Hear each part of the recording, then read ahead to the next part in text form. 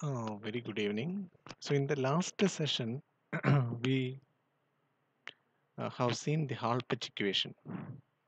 So, the Hall-Petch equation uh, that will give a general relationship between the yield stress and grain size of the material. I mean, how the grain size of the material that depends upon the yield stress value of the material.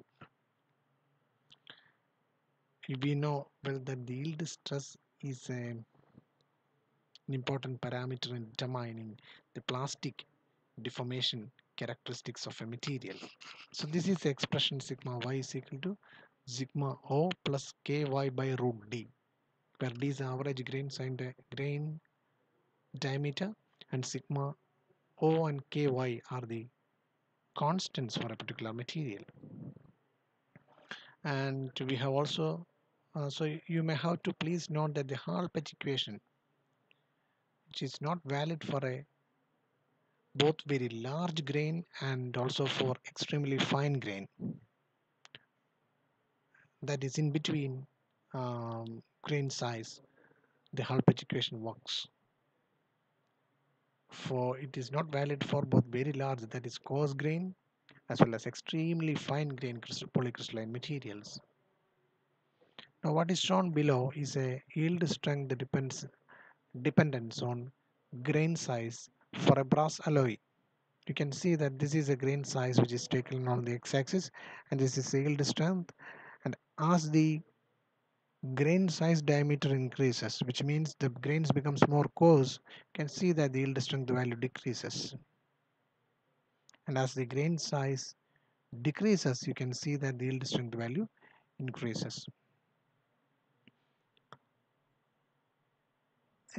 so this aspect which we have discussed previously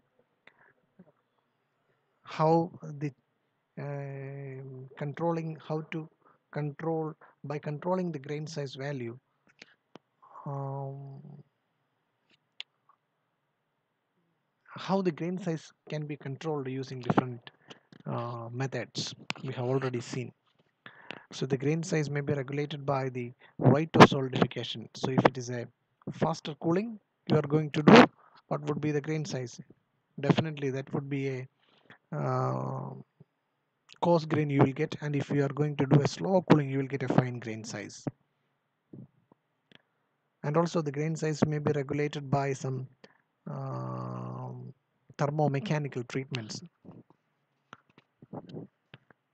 So you may please note that the grain size reduction I mean if the material become fine grained it not only improves the strength value but also increases the toughness of many alloys.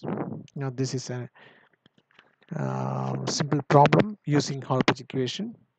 So let me read down the question first. The yield strength of mild steel with an average grain size of 0.05 mm is 138 MPa. The yield strength of the same steel with grain size of 0.007 mm is 276 MPa. And what will be the average grain size of the same steel with a yield stress of 207 MPa? Assume Hall-Petch equation is valid. And we know the Hall-Petch equation, isn't it? The yield stress is equal to uh, sigma 0 plus ky dip by root d. d is average grain diameter and let's proceed like this. We know that for a grain size of 0.05 mm the yield strength is 135 138 MPa. So I can write the Hall-Petch equation. 138 is equal to sigma O plus ky by root 0.05 and for grain size of 0.007 mm the yield strength is 276 MPa. So I can write using Hall-Petch equation 276 is equal to sigma O plus ky by root 0.007 if I solve the equation A and B I will get the value for ky and sigma O the constants I got.